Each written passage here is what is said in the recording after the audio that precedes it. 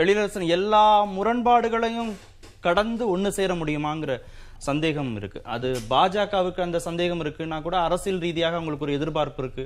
ஒரு political gain இருக்குன்னு யோசிக்கலாம். ஆனா முரண்பாடுகளை வெளிப்படையாகவே பேச தொடங்கியாச்சு. அந்த கூட்டத்திலையும் பேசியிருக்கிறாங்க. ஆம் ஆத்மி கூட்டத்திற்கு வெளியேயும் பேசுங்கிற போது இது எப்படி அடுத்தடுத்த நிலைகள்ல வந்து தொடரும் அப்படின்னு நம்ப முடியும்? முதல்ல இந்தியான்றதே எல்லா பல் பல்வேறுபட்டவர்கள் இணைந்தது தான் இந்தியான்றதே இங்கே ஒன்று எல்லாரும் ஒரே மதம் ஒரே இனம் ஒரே மொழி அப்படிலாம் கிடையாது. எல்லாரும் இருக்கிற ஒரு துணை கண்டமாக இருக்கக்கூடியது. அப்படி இருக்கும்போது இப்போ நம்ம எல்லாரும் இந்தியன் சொல்லிக்கிறதுல ஏதாவது பிரச்சனை இருக்காண்ணா ஆனா தேர்தல் கன்னியாகுமரியில இருக்கணும் இந்தியன் தான் சொல்றான் அது- காஷ்மீர்ல இருக்கணும் ஒன்று தான் சொல்றான். அது அப்ப எந்த இல்ல எந்த அடிப்படையில் அது வருதோ? உங்களுக்கு ஒரு உணவு பிடிக்கும் எனக்கு ஒரு உணவு பிடிக்கும் உங்களுக்கு ஒரு உடை பிடிக்கும் எனக்கு ஒரு உடை பிடிக்கும். ஆனா தேர்தல் வெற்றின்னு ஒண்ணே ஒண்ணு இருக்கிற போது நாம ரெண்டு பேரும் அதுக்கு மட்டும் தானே டார்கெட் பண்ணோம் அதை தான் சொல்கிறேன் நான். இப்போ இங்கே அந்த அந்த மாறுபாடுகள் இருந்தாலும் நம்ம எல்லாம் ஒரு ஒன்று தான் இந்தியர்கள் அப்படின்னு சொல்லிக்கிறதுல எவ்வளோ பெருமையோடு நிற்கிறோமோ அது போல் ஒரு சூழல் தான். யார் இன்றைக்கு நாட்டை ஆளக்கூடாது?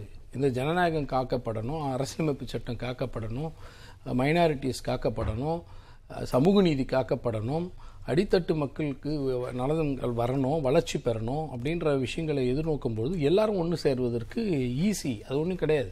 இங்கே முரண்படாத மக்களே கிடையாது. வீட்டுக்குள்ளரே முரண்பட்டு தான் இருப்போம் எல்லாரும். கணவன் மனைவி பிள்ளைகள் அப்பா அம்மா எல்லாருக்கும் எல்லாருக்கிட்டையும் ஒவ்வொரு விஷயம் ஏதாவது ஒன்று முரண்பட்டுக்கிட்டே இருக்கும். அப்போ அந்த குடும்பத்துக்குள்ளே வீட்டில் யாருமே இல்லைன்னு சொல்ல முடியாது. அப்படிலாம் சொல்ல முடியுமா?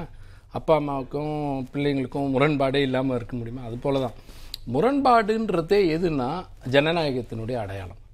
முரண்பாடு என்பதுதான் உரிமைக்கான அடையாளம். முரண்பாடுகள் தான் வந்து தன்னை தன்னுடைய தனித்துவம் பாதிக்கப்படலைன்றதுக்கு வெளிப்படுத்துக்கான வாய்ப்புகள். நான் அமைதியாக இருக்கேன்னு சொன்னால் தான் அங்கே சந்தேகப்படணும். அவங்க அமைதியாக இல்லை. உண்மையை சொல்கிறாங்க எனக்கு இது தேவை அப்படின்னு ஒரு ஜாயின்ட் மீட்டிங்கில் அவங்க எடுத்து வராங்க இத்தனை கட்சி எனக்கு ஆதரவு. காங்கிரஸ் எதிர்பார்க்கணும்னு எதிர்பார்த்திருப்பாங்க. அவ்வளோதானே தவிர அப்படி இருந்தால் இந்த கூட்டணி வேணாம் நான் வெளிநடப்பு செய்கிறேன் வந்தேருக்கு பொறுத்து இல்லை. ஆம் ஆத்மியை யாரும் கட்டாயப்படுத்த பொறுத்து இல்லையே. வந்தே ஆகணுன்ற நிச்சயம் இருக்கு? இல்ல சமாதானம் ஏற்படுங்கிற நம்பிக்கையில இல்ல இவ்வளவு தலைவர்கள் இருக்கிறாங்க காங்கிரஸ சமாதானப்படுத்துவாங்கங்கிற நம்பிக்கையில வந்திருக்கலாம். கடைசி வரைக்கும் காங்கிரஸ் பிடி ஒண்ணும் கொடுக்காத அது- போது ஆம் ஆத்மிக்கு அவர் இப்ப- நம்பிக்கை அவர் வந்து காங்கிரஸ் எனக்கு சொல்லாதது வந்து வருத்தம் அளிக்கிறதுன்றாரு. இந்த கூட்டமைப்பு அமைவதோ இந்த கூட்டணி வந்து பாஜகவை எதிர்ப்பது என்பதிலேயோ எந்த மாறுபட்ட கருத்தும் ஆம் ஆத்மிக்கு இல்லை. அப்போ முரண்பாடுகள் என்பதை விட இவையெல்லாம் வேறுபட்ட கருத்து உடையவர்கள் வேறு வேறு சிந்தனை உடையவர்கள் எல்லோரும் ஒன்று சேர்கிறோம். எதற்காக என்றால் ஒரு கருத்தில் ஒரு புள்ளியை நோக்கி இந்தியா என்ற இந்த ஒட்டுமொத்த துணை கண்டத்தை வேறு வேற்றுமையில் ஒற்றுமையை காணுகின்ற வேற்றுமையில் மகிழ்ச்சியாக இருக்கக்கூடிய இந்த ஒட்டுமொத்த இந்த இந்திய குடும்பத்தை காக்க வேண்டும். இந்திய அரசியலமைப்பு சட்டத்தை காக்க வேண்டும். இந்திய அரசியலமைப்பு சட்டத்தில் கூறியிருக்கக்கூடிய சரத்துக்களை நாம் பாதுகாக்க வேண்டும்.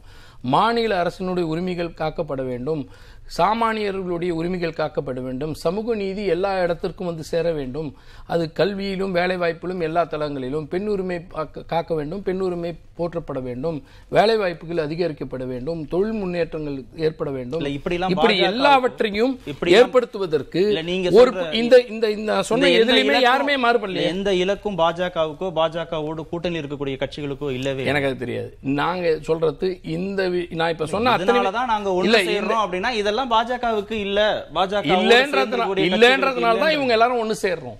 இவங்க ஒவ்வொருத்தரும் ஒவ்வொரு விதத்திலையும் மாறுபடுறோம் நம்ம எல்லாருமே. ஆனா ஒரு புள்ளியில மாறு வரும் ஏன்? பாஜக நான் இப்ப பட்டியலிட்ட எதுலையுமே பாஜக சரியாக நடந்து கொள்ளவில்லை என்பதுதான். ஒன்பது ஆண்டு காலத்துல நடந்திருக்கக்கூடிய விஷயங்களை பாருங்க. இந்த ட்ரிக்கல் டவுன் எக்கானமி அப்படின்னு சொல்லி பேசியிருக்காங்க விமர்சிக்கப்பட்டிருக்கு. என்ன சொல்லியிருக்கு? இங்கே வந்து ட்ரிக்கிள் டவுன் எக்கானமின்னா என்ன வார்த்தை அது? அது என்னன்னா பொருளாதாரத்தில் சொல்லப்படுகிற ஒரு வார்த்தை அது எதுவென்று சொன்னால் பணக்காரரை மேலும் மேலும் பணக்காரரை ஆக்குவது. கார்ப்பரேட்ஸை பணக்காரர்கள் ஆக்குவது. இதுதான் வந்து ஒரு நாட்டினுடைய பொருளாதாரத்தை மேம்படுத்துதல் அப்படின்னு ஒரு பொருளாதார சிந்தனை இருக்கிறது. அந்த சிந்தனையை கொண்டவராக மோடி இருக்கிறார். ஆனால் இங்கே என்ன நிலவரம்?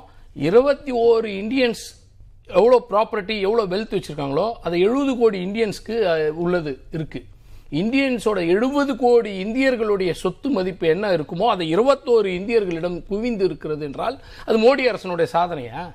இந்த சாதனையே என்னன்னு சொல்றது? எழுபது கோடி பேர் பிச்சை எடுக்கக்கூடிய நிலையோ மோசமான நிலையில வச்சுட்டு இருபத்தோரு பேர் பெரும் பணக்காரர்களாக வாழ்வதனால இந்தியா முன்னேறிடுதுன்னு சொல்லிட முடியுமா? இந்தியாவில் ஒரு நீண்ட காலமாக பொது பொது நிறுவனங்கள் என்று கட்டமைக்கப்பட்டதை எல்லாம் சிதைத்து விட்டு விற்கக்கூடிய நிலையை உருவாக்கி விட்டு எல்லாவற்றையும் கொடுத்துவிட்டு ஒரு பாதுகாப்பற்ற நிலையை உருவாக்கிய பிறகு இது வந்து நல்ல ஒரு ஸ்திரத்தன்மை அதாவது திடத்தன்மையோடு இருக்கிறது என்று சொல்வதில் அர்த்தமாயிடுமா?